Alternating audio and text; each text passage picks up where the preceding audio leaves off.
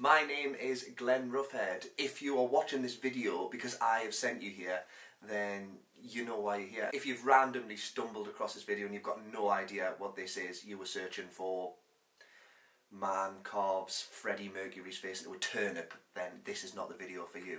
I am a professional musician, loop pedal artist, singer-songwriter.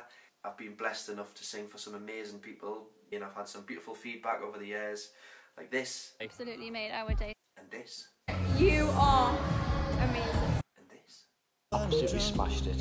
So thank you to everyone who I've ever, you know, played and, and had an amazing, amazing day. But anyway, I'm rambling. The point is, is this. I want to take you through the steps of how I do my weddings. This is not how everyone does it. This is just how best I've found it works for me and for my couples over the years. I'm sure you'll have a million questions. Of course, it's the biggest, best day of your life, which I'm happy to do. I'm just trying to save you time by putting them all together in one thing and maybe it'll help you, you might think of something else. So, so that's what this video is about.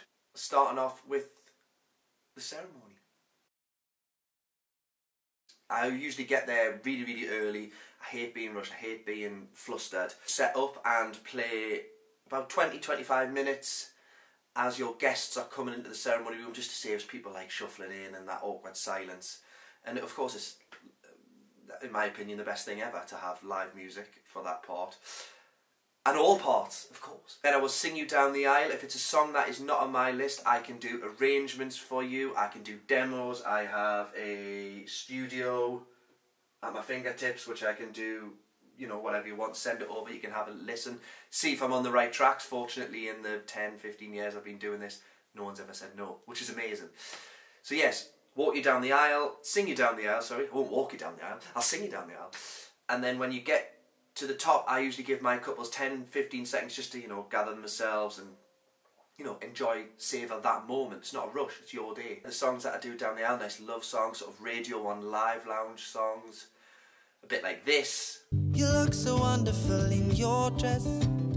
Or this. You and me away. Or this. I don't know where I'm pointing, but you know. Take the time to make some sense. Sing you guys down the aisle, and then a couple of songs during the sign of the register, depending on what type of ceremony you have.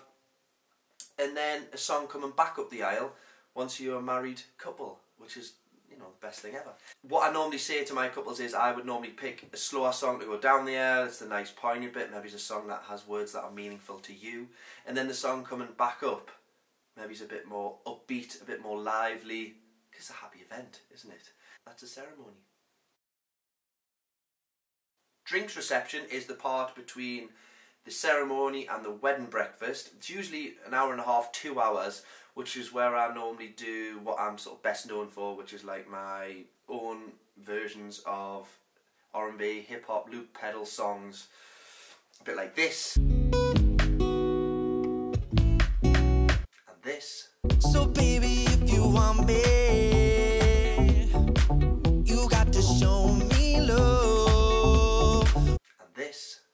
riding shotgun underneath the hot sun, feeling like a someone.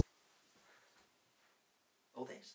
Return the man, you know that I'll be back. So loop pedal is I do everything live: guitar, singing, backing vocals, drums, bass, bells and whistles, basically.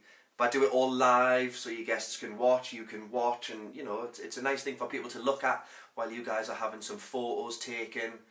And basically, the loop pedal stuff is to just to give the atmosphere a bit of a lift. You know, everyone's different, but I personally wouldn't have another two hours of love songs because it can be a bit. Mm, but that's just my opinion. Which takes us to the wedding breakfast.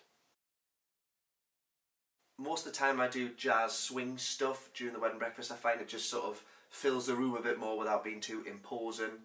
If you don't like jazz swing stuff, then we can just do acoustic stuff or whatever you like. My style is more laid back, sort of Jamie Cullum type Sinatra vibe, rather than "Hi guys, let's get your nana up."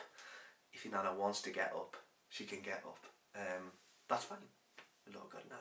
Then once that is finished, we move to the evening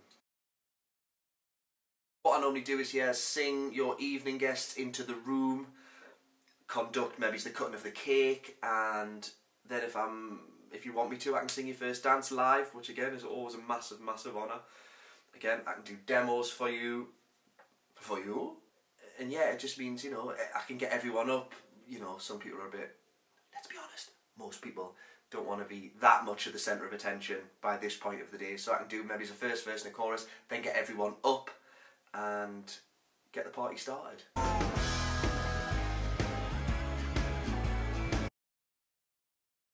You don't have to book the, the full day, of course. You can have any part of, of the uh, of the day that you want. You can just have ceremony, you can just have drinks, or you can have everything, which is it's lovely. It's lovely for me to be with your guests all day, and then they can get a feel for what I do, and I can get a feel for what they like, and I can sort of tailor the music to what they like, and of course what you guys like. Pick and choose from the packages, or if you have a different idea, then let me know. These are just guidelines for what, for what, uh, you know, work for me.